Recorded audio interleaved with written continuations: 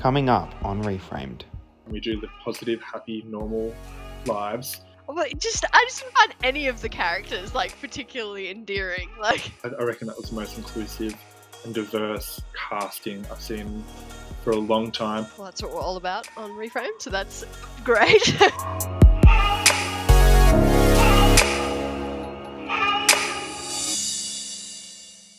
Welcome back to Reframed, the podcast that reframes how disability is portrayed in film and TV.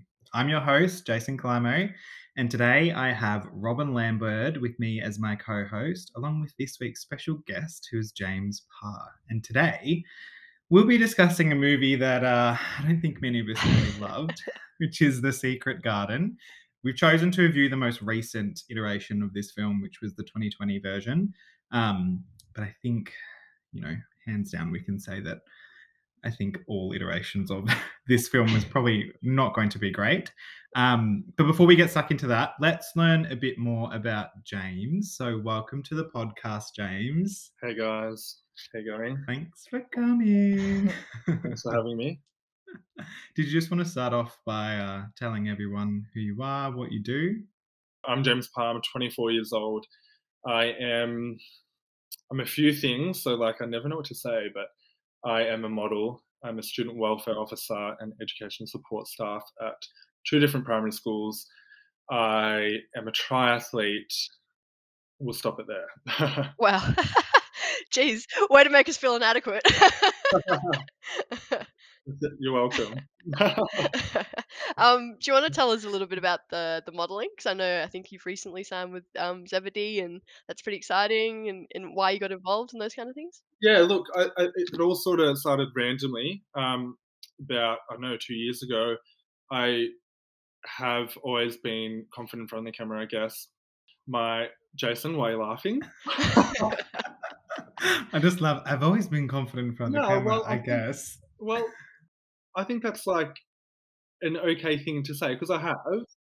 So like when when I got um, when I did like my very first thing, I was like, okay, like it was random. It was literally for my friend's clothing shop, um, her family business.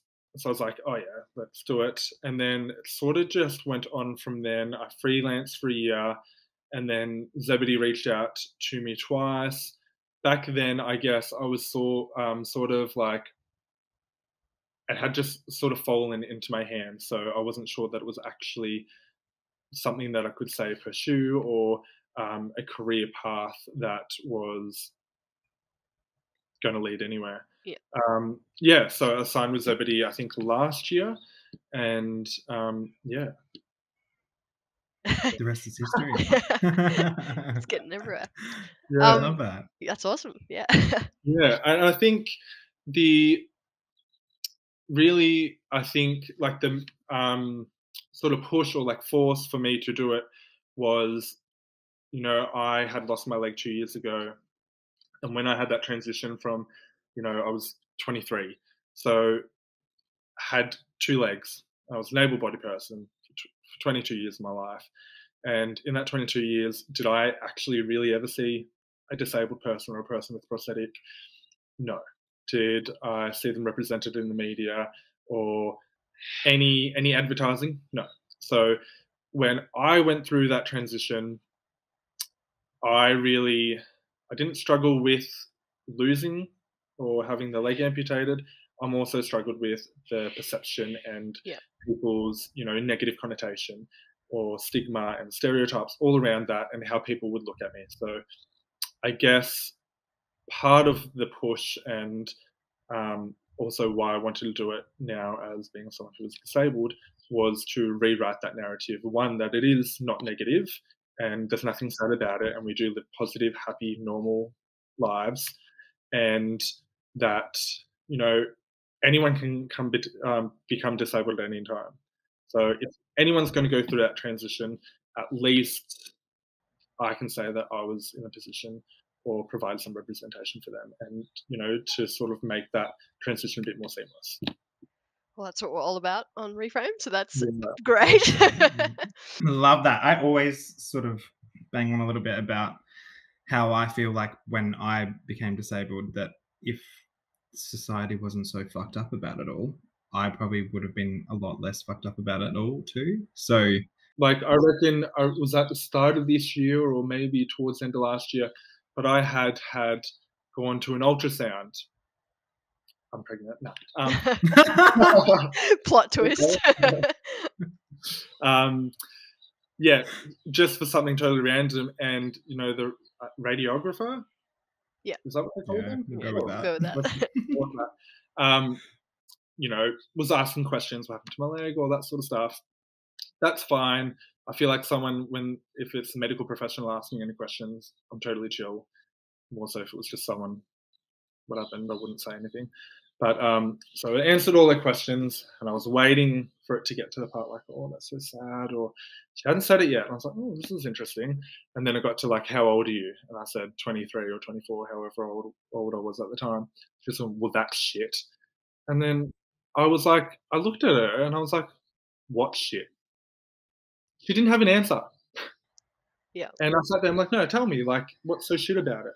And she's like, "Oh, like you know, like that you lost your leg." And I was like, "And?"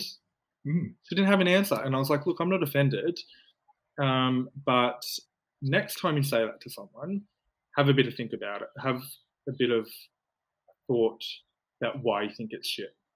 Mm. Because my life isn't shit. My life is probably better than yours, and you know, thankfully, I'm someone that's confident and I don't care. But if you were to say that to someone who went through a traumatic experience that then resulted in the loss of their limb, that's just going to reiterate that their life is shit or that it is shit from you. So don't say it again. Yeah, honestly, get them. Preach. It's just like automated in their brain. Mm. But in saying that, I'll be the first one to put my hand up, and sometimes I'll have that internalized ableism Yeah. as a disabled mm. person. I'm like, oh, that's no, it's not sad. I'm just saying that because that's what I've been taught to say. Programmed. Yeah. Yeah, or that that's the way that it's been portrayed to you. Because like sometimes, like especially and that's what we talk about here, is sometimes like film and TV and fashion and whatever the fuck else, like portrays things in such a way that just keeps entrenching these ideas in people's minds. So sometimes I'm like, I can kind of understand why you think this way, but we need to try and unpack it. So even when it comes to modeling, even when it comes to modeling, I guess I get really picky and really sus on some sort of jobs because I'm like, why are you picking me? Yeah. And what do you want me for? even when it, so yeah, even when it comes to like disability specific modeling, like whether it's adaptive Mm. fashion or, um, you know, I did one recently. I won't say what it is, but I did um, a video recently. I didn't really want to do it, but I just did it more so because I knew it was their idea was put forward very well. But when they actually released what they had done, I was like, this is, you've just portrayed and made that whole sort of, oh, this is sad. Yeah. And that's not what I wanted. So it's like, no. to be really picky. And um, I just did Melbourne Fashion Week. I did three shows there, and I thought again, like, is this going to be to- tokenistic? Um, are they just ticking a box with me? But I guess I, I reckon that was the most inclusive and diverse casting I've seen for a long time. I believe no one was casted just to tick a box or Yeah. for a disability. Um, No, it's great. Melbourne Fashion Week are doing good stuff. We've uh, given them a bit of airtime on this podcast, actually. Come up a couple times. They're gonna have to come on as like a sponsor or something. I'll go hit them up. Next season. Yeah, literally. I'm like, um. no, it's good. Um, is there like something that stands out as one of your favorite jobs that you have done so far? And I guess why? Like, it, maybe it is Melbourne Fashion Week. I, I think it would. Yeah, I think it would be that. I think that was the coolest. Um, you know, like I've done a few editorial, a few campaigns, a few just commercial uh, stuff, magazines, Jason. Um, that was just something I never thought I would have on the cards. Um, yeah, you know, and I kept thinking about it like, you know, when you're little and you watch runways and then you're like, oh yeah, I'm going to practice walking down a freaking runway. And the next minute I'm actually fucking walking down a runway. I was like, fuck. When I was little, there was, my brother was like, remember that time you put on that purple dress and you put on some eyeshadow and you strutted down the street, like the main street, like it was a runway, and now you're going to be on a runway? I'm like, I prepared for this. Don't you worry. you were born for it. Mm, now we just need to get the purple dress. yeah. Let's revive the purple dress. I wish I could find a photo. If I ever find a photo. Honestly, if you do, send it through and I'll put it on the podcast. Yeah. Love it. Well, I think we've spoken enough about you. And, and now it's time to talk about our film for today, which is The Secret Garden.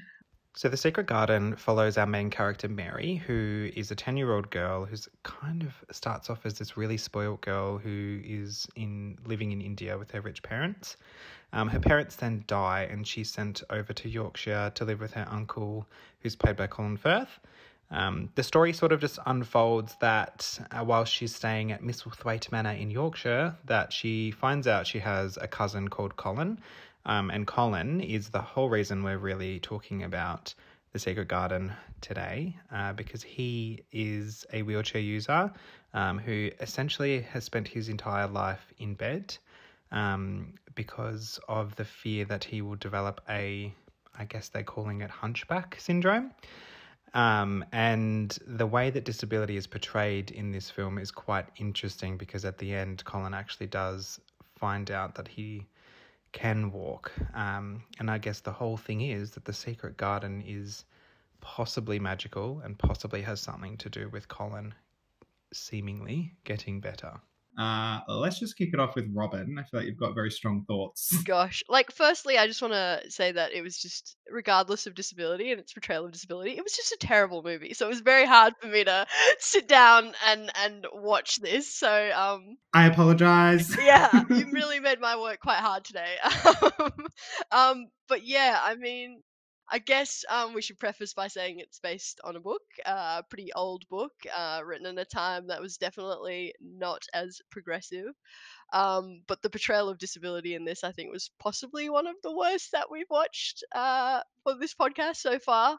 Um, very much portrayed, dis- you know, people with disabilities as being like dependent, um, like just a victim of their situation.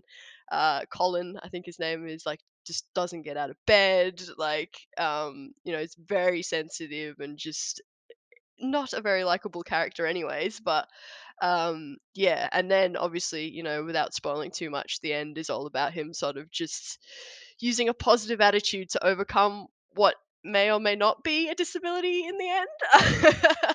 Um so yeah i wasn't wasn't really a fan but how about how about you guys?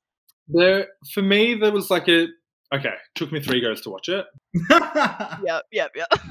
and then the last time I was, I sat myself down and I was like, right, I need to buckle in. It's hard. Yeah. Um, but actually, the more I sort of watched it, the more I actually didn't mind it. Um, when it comes to the portrayal of the disability, there were a, f- a few things that I took away. One, it was set in 1947.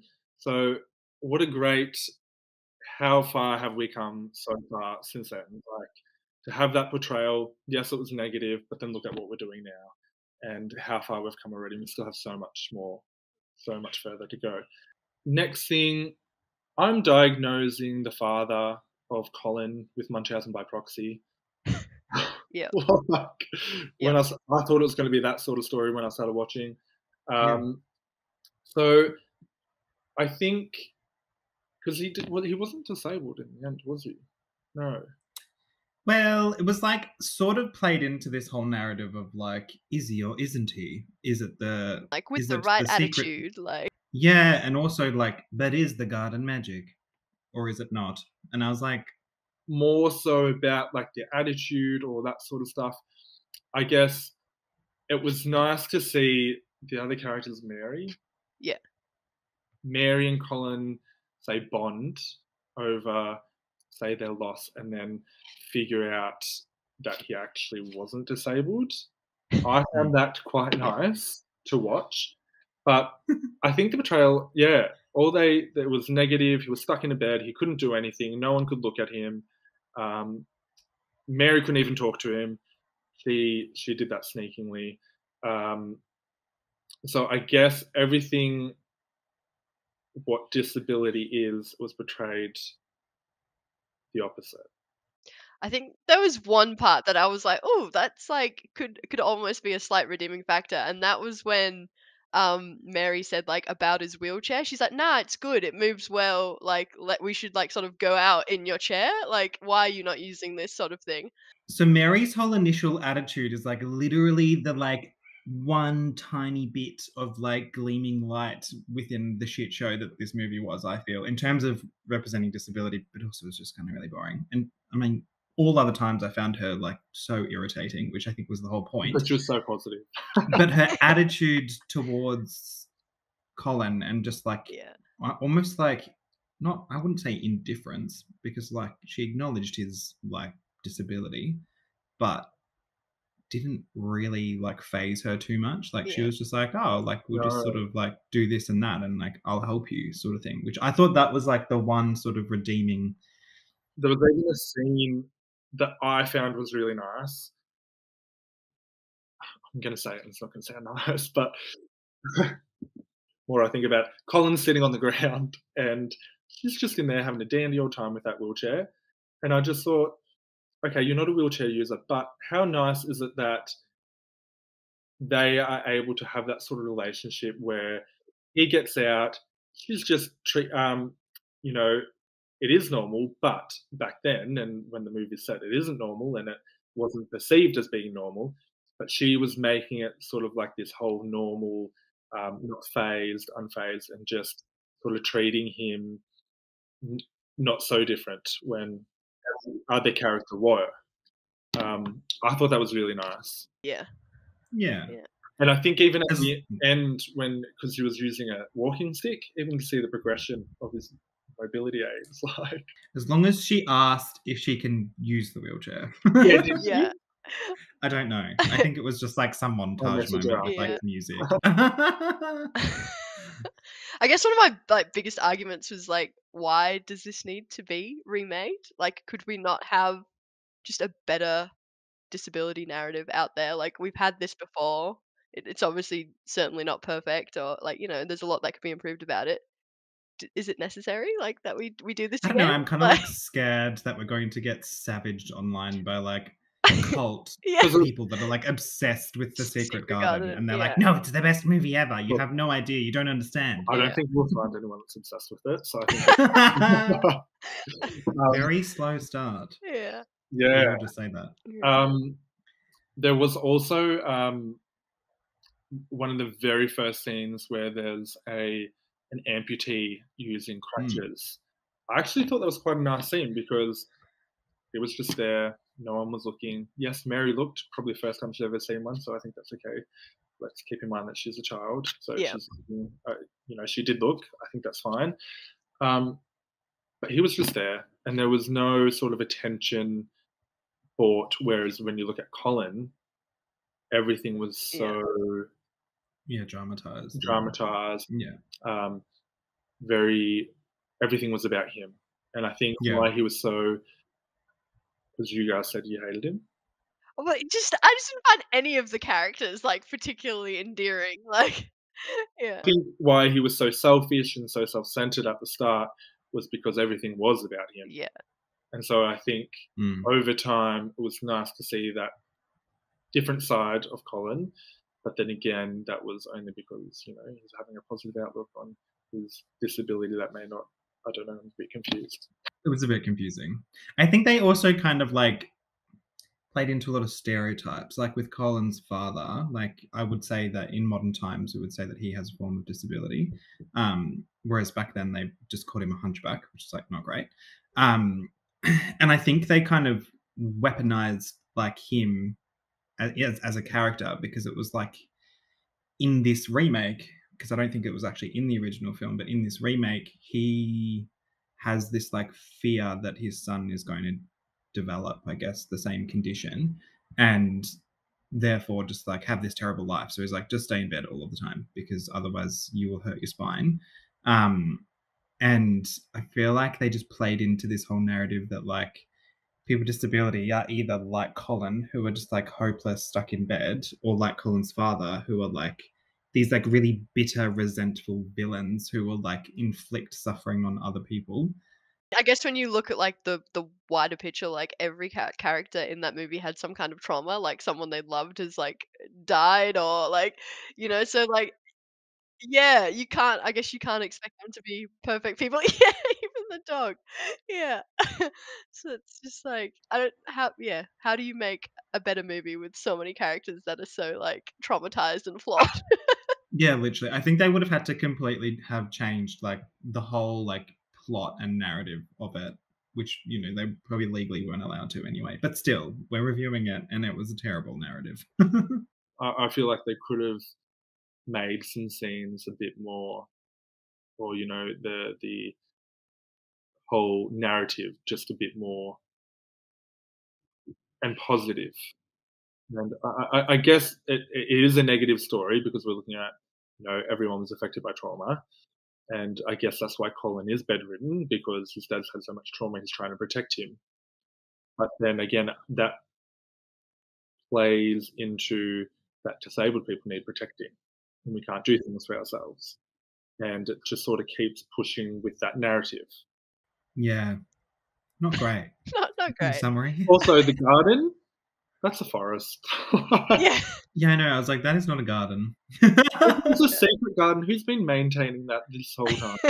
I sort of thought that they were portraying, yeah, the secret garden to be some sort of magic, and that was what cured him, Colin, his disability.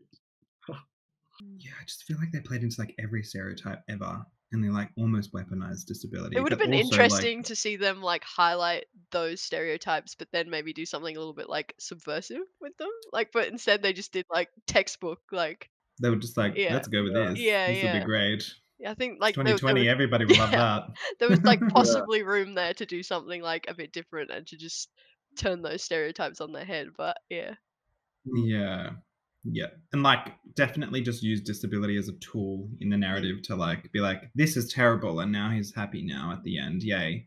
The Yeah. secret garden is magic. Instead of actually like delving into any sort of actual representation of disability or Yeah. even kind of really defining what disability is. Like I feel like, oh my God, the kids that watch that film are gonna come up to me and be like, I'll take you to the secret garden and you'll walk again. And I'll be like, that's not fucking how it works. Actually, so not how it works. maybe you just haven't found the right garden. Literally, oh my god. I was so confused when like all the plants were like dying and then like coming back to life. Like I was like, why is no one looking around and being like, wow, the whole thing's like turned into like death. And anyway, I think it's time to give our scores. James, you go first. I feel like you're going to be the nicest. Out of five on the inclusive disability representation scale, what did you give? Oh, one. Okay, well, that was not nice. Not even a one. Like, zero. I thought you brought like up some points about it, like not being too terrible, but no, I, I said one because I was like, is it one to five? And then I thought about it, I'm like, no, I can say zero. it's like negative numbers. I think we've Yeah. had like negative five at one point. Oh, really? Robin? oh yeah, I mean, if we're going low as one, let's go one because like it, yeah, there wasn't much great about this. Like I said, there was a few things where I was like, oh look, like they're trying to make mobility aids like a tool, like for you know getting out there rather than being some negative thing, but. On a whole, like, yeah, it was just very like classic textbook negative stereotypes. So Yep. Yeah, no, I was a 0.5 out of 5. Just go with those half numbers so that I don't have to uh, be an absolute zero. Um, and yeah, literally just because of like they just use disability as a tool and as like a weapon to like destroy characters, but also like build characters up. And I was just like, mm, this is not for me. To portray that whole disability, Yeah. death, bedridden, Yeah, can't do anything, yeah, can't look at him. Um, you know, there's a scene where I think the, the nanny um, is like, don't expect him to come running. and I was like, calm down. Have you watched that bit of the movie? spoilers. Yeah, Well, wasn't she Or wrong?